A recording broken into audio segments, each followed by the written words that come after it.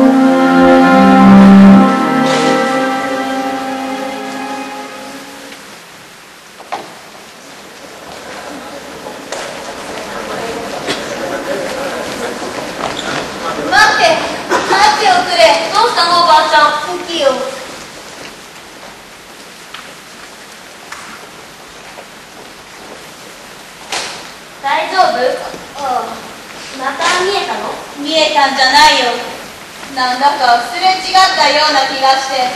もうええでしょ？うちがお母さんに叱られる。やわらちゃんごめんね。ちゃんとお母さんには私から話すけ。もう少しだけ。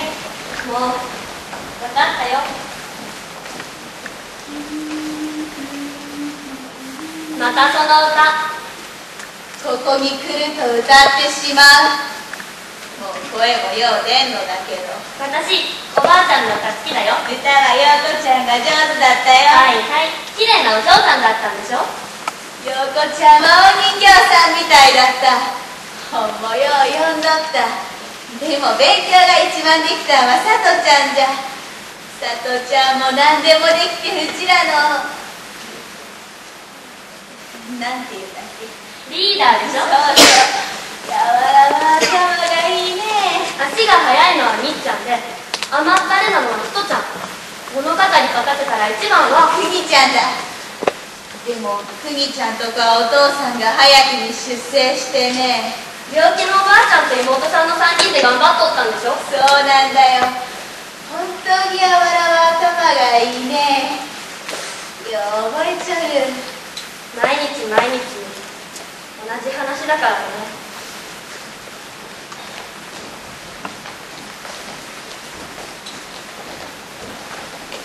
でもここに来るのももう最後かもしれんね。ダメじゃこの壁合いを壊さん。死が決めたことでしょ？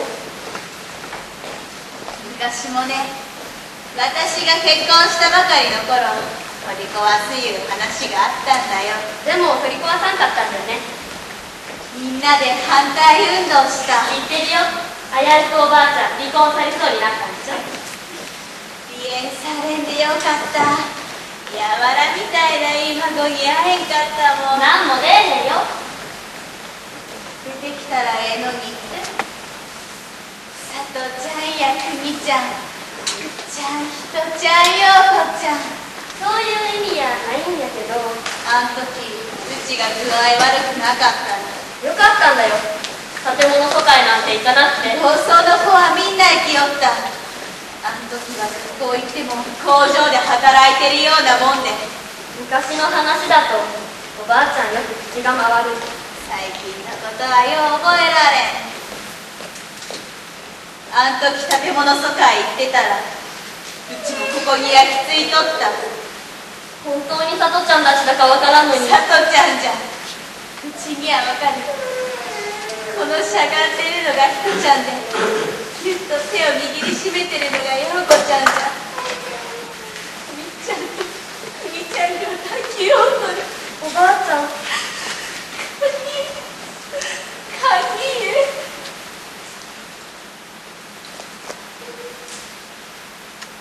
おばあちゃんは83歳。しっかりしたおばあちゃんだったのに。最近はすぐに亡く。泣くたびにおばあちゃんは小さくなる。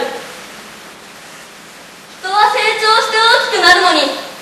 おばあちゃんは私が小さかった頃よりずっとずっと小さくなった。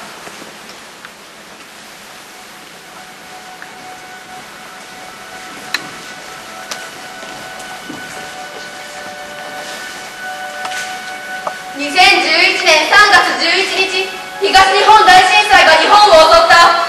死者1万5884人。行方不明者2633人。震災関連死2993人。犠牲者2万1510人。そして福島原子力発電所メルトダウン危険度レベル7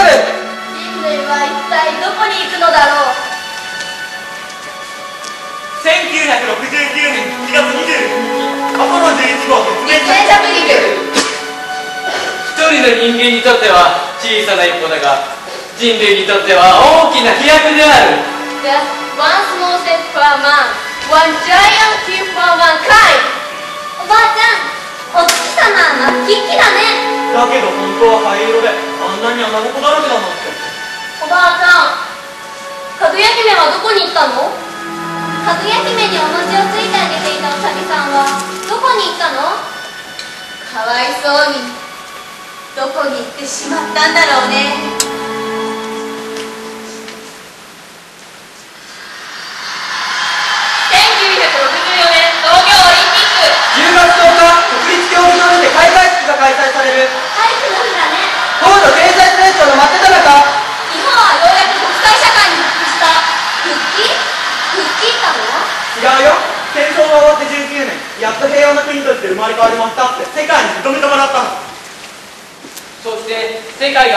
リンピックの歓喜に歌う10月16日中国初の原爆実験成功。これで核クラブ5カ国になった。核クラブ？核の保有国。アメリカソ連イギリス。フランスそして中国。なんで核兵器があるの？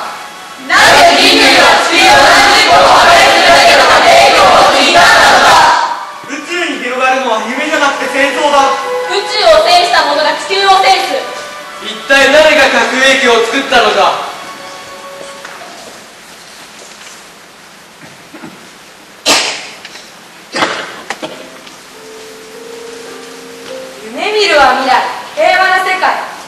ちは戦う平和のために。1955年第1回原水爆禁止世界大会。この年ソ連は水爆実験に成功した。その前年アメリカはビキニ環境で水爆実験を行った。この実験で日本は水爆にも被爆した。大極流丸。世界中に原水爆禁止の署名運動が広がった。私は原爆の時15歳でしたの通り顔にひどいやけどをしたほか全身に放射能を浴びて7ヶ月入院しました。帰ってみれば父も母も弟も家は影も形もありませんでした。手足を失った人がたくさんいます。その一人がこう話していました。私は今母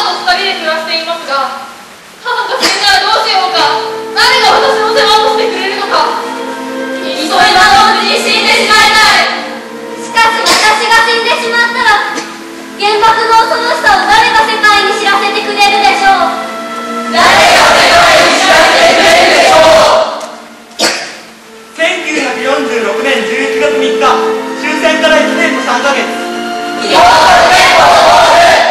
民して、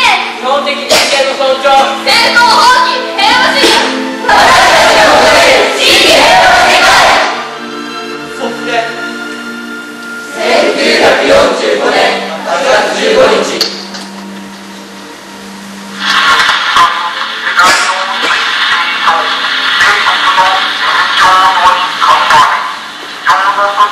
本の憲法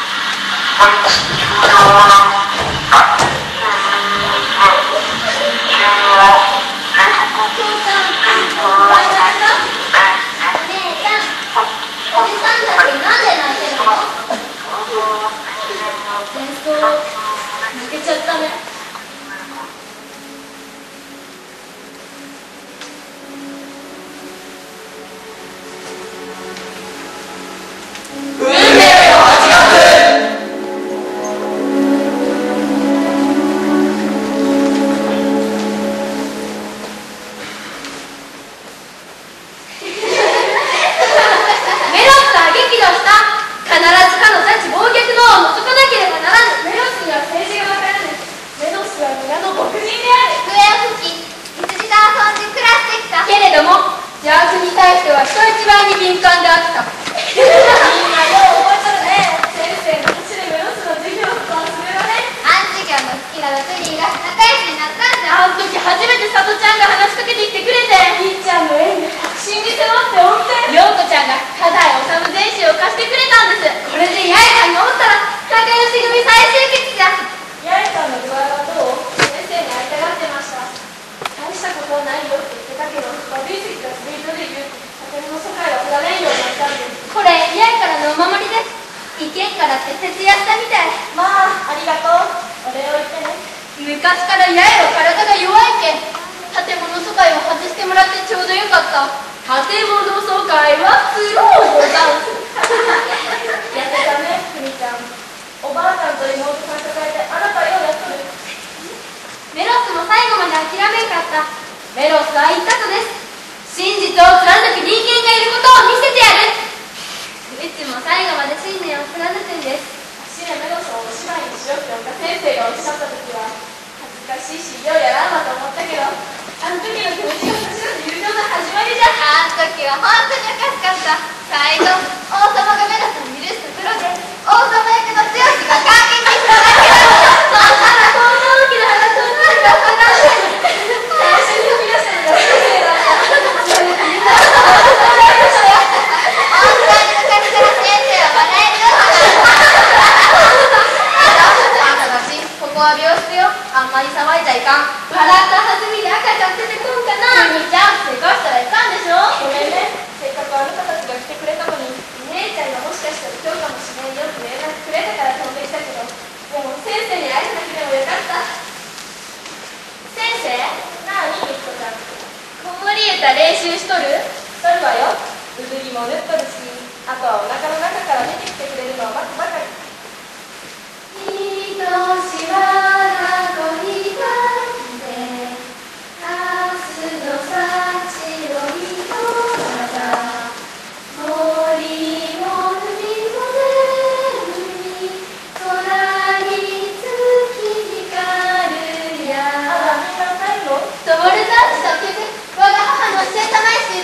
先生がピアノ弾いてらしたのを聞いてたからようちゃんちでレコード聴かせてもらって覚えたん先生文学のことなら何でもするけど歌は音痴だから私たちが代わりなんかちゃん歌ってあげる先生は音痴の上にうるさいものひとちゃんはのんびり者。私本当に怒り者なんじゃ進化主人の形見のボールで東野の家に置いてきてしまった。ダメじゃね。先生のご主人って野球の選手だったんですね。東野沢村西野岡。うちの父さんもすごい同士が出てきたぞって言うとった広島にプロ野球のチームがあったら岡を入れたいもんだって東京のやつらには負けんだろうって。海の底に沈められた野球どころじゃないものね。先生ご主人の形見のボール今度は先生のお家から持ってきます。まあボールなくても先生元気な赤ちゃん産んでね八重ちゃんのお守りがあるから大丈夫。さとこそうそうはい今晩は佐藤ちゃんのおばさんのお家に泊まって明日はここから子供社会になるのね今授業なんか全然なくて学校にも機械が運び込まれてまるで工場です一中の生徒がこの間は機械に挟まれて指を落としたって第二工事でも先輩が天板に巻き込まれて亡くなったそうです勤労動員はつろうござんす戦争のバカ野郎先生漱石みたいそうよみんな正しいことを求めて思っとって人間だものなんだ戦争のバカ野郎と抜かしたのは国体を愚弄するか苦労なんてしていませんお前おかしな日本語じゃのそうか朝鮮か朝鮮だから何ですじゃ突っかかるな病院に憲兵さんが何のご用で入院患者が危険思想の持ち主とあれば厳重に警戒せねばならんからな建物疎開が嫌じゃ戦争のバカ野郎教師を辞めてもこうして生徒を集めてお国のすることに反対する非国民を教育するわけですか。危ないの。これは厳重に記録せにゃ。麻生さんここは病室です。お静かに。いや失礼した。三国さんお勤めご苦労さん。これ裏の畑のいつもの百姓からの差し入れだえー、じゃあこに畑あったっけ？この辺全部集めどこの百姓さんかの自分でこうじらした。ほら梨に値札がついとる。何がおかしいわしをバカにするのか！大体貴様ら今戦線の兵士そして銃後を守る国民たちが一体となって戦っている時に戦争のバカ野郎が何のかそれを正しいとはどういうことだ！戦争が終わればいいと思っています言葉を慎めよ。終わればいいではない。勝つのだ出産間近でなかったら貴様容赦しないところだぞ戦争なんて早く終わればいい何回でも言いますわこんな子供たちまで苦しめる戦争なんて愛する人を奪う戦争なんてあまり興奮せんで暗号さこんな奴に立派な病室はいらんもっと狭い部屋に入れて誰にも愛を鍵をかけてくれんかここが麻生さんたちした北側の一番狭い部屋です。差別しとるんです。か部屋だけ2階の端っこで。これで北側だから変だと思ったけど。危険思想の持ち主だからな他の患者と接触して何引き込むかわからんからの先生が何か法律違反でもしたんですか？現に尋常小学校を辞めさせられたじゃろ。危険思想の持ち主で何よりの証拠じゃ。生徒に間違ったことを教え込む問題教師いや戦争を嫌がる子供を育てる非国民街を追われるように逃げ出したそうじゃないか。違います。先生を追い出したのは軍と根性の圧力でしょ。みんな書いたんです。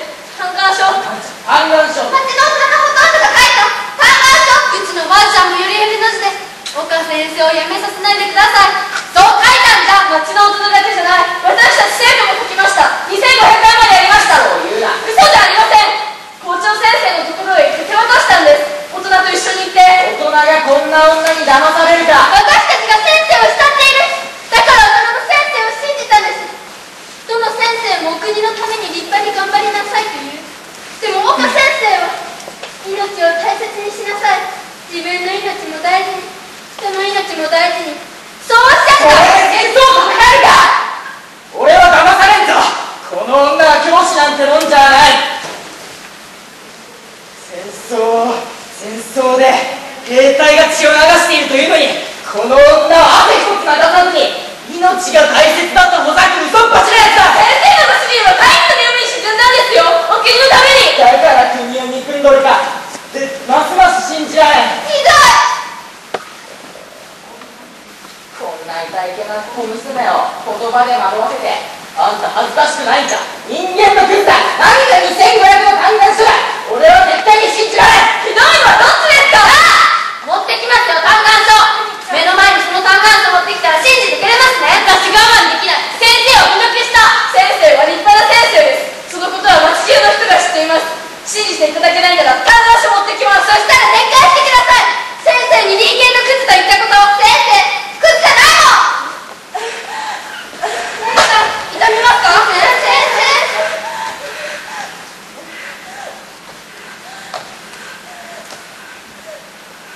生いつ持ってくるんじゃの嘆願書すぐ持ってきますほうすぐな待ちなさい国ちゃんもう電車止まっとるのよ。走ってとっさくご案下まで私も行ったよ私も。私も5人で500分背負って走ればいいんだから。走れってあなたたち東野まで5里よ20キロよ先生待っててくださいそしたら先生のお家にも寄って亡くなったご主人のボール取ってきます。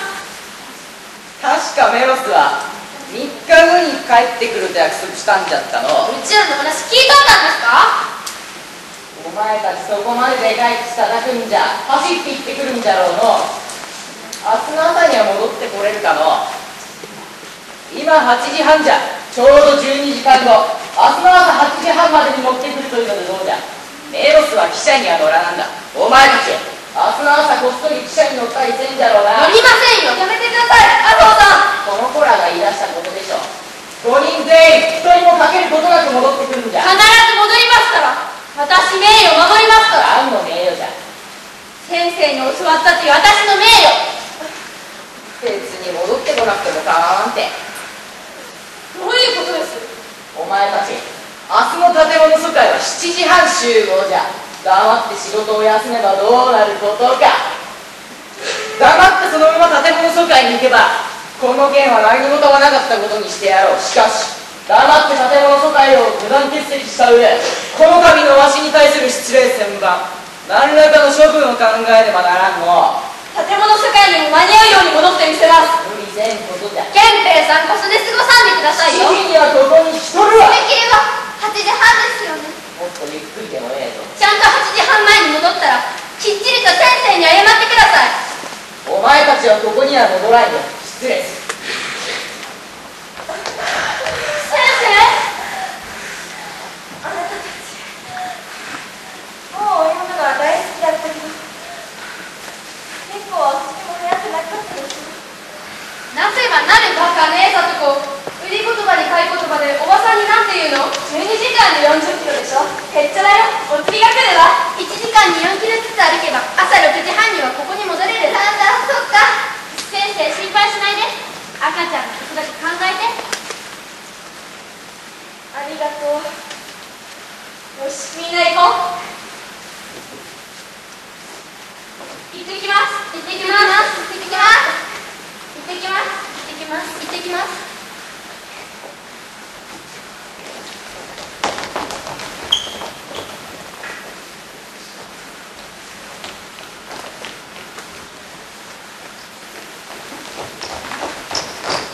みんな待って無理せんことよ大丈夫絶対戻ってみせるからそれよりか先生と飲みます本当は急いで戻ってきてほしいくらいなんだけど他先生がどうしましたかとても弱っとるのよお産に耐えられるかどうかそんな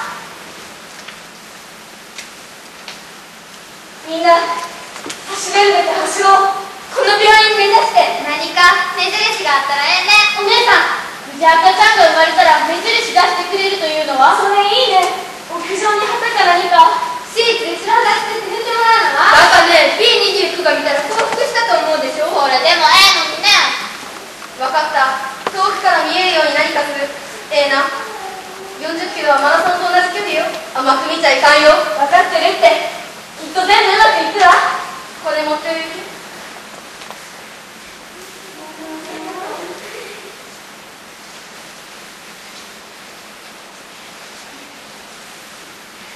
行ってきます先生お願いします合図をお願いします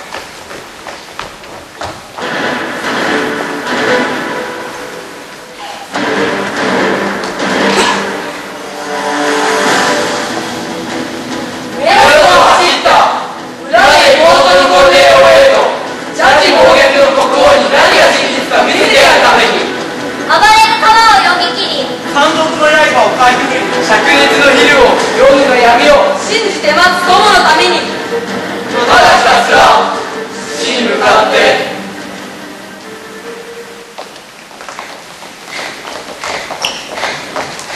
佐藤ちゃん何去年の地球総大会学年で何番だった？165番。すごい。全治199番うち201番。ひとちゃんに負けるとはみんなええやない。うちなんか知っとるって239番みっちゃんのおかげでなんとかビリは免れた。りっちゃんは圧巻だった。240番。1番よ学校だからね。学校始まって以来の収束だって。先生方が言うと。った私がドンケツで戻ってきたらゴールの前で立ち止まってるみっちゃんがおった。みんながゴールしようと叫んでるのに。ずっと立ち止まっとったね。最後にゆっくりゴールしてそこで挑戦の言葉で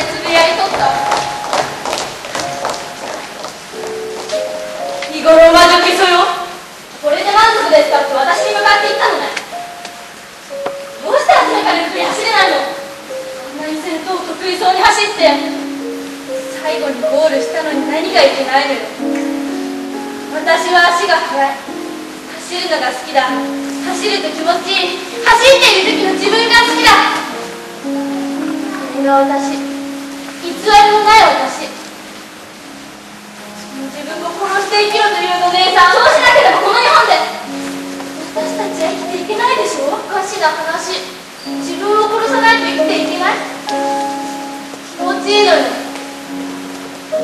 前には誰も走っていない。走っている時は何も聞こえない。何も苦しくない。心臓なんかドクドク言ってるけどどこまでもどこまでも走っていけるような気がするの。走っている時は朝鮮も日本も相棒かなるようにしてなくちゃ。過ぎればやれ朝鮮学と頭を叩かれる。同じ朝鮮から来た人の迷惑のかかる場所を好きで日本に来たんじゃない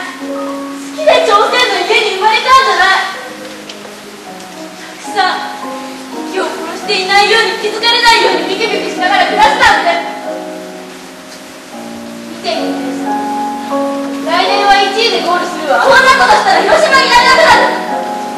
私たち家族だ。大げさよ。大げさなんかじゃないわ。姉さんは三菱の重役さんがお気に入り。結婚をすればずっと広島にいられるでしょ。姉さんも好きなんでしょ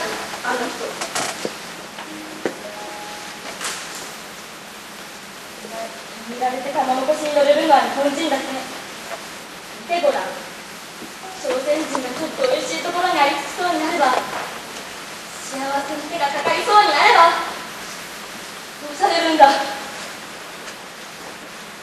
ダメよ私なんてやめてちょうだい。父さんも私もやっと当選家の仕事を手に入れたんだ。少々並みの暮らしがしたいならクズ姉さんだまだ走り足りないでしょ？変わった手段ももう一つ言っておいであなたの持久走のうちにお祝いしよう。ダイエットはいかないけどアジを焼いて待ってるよ。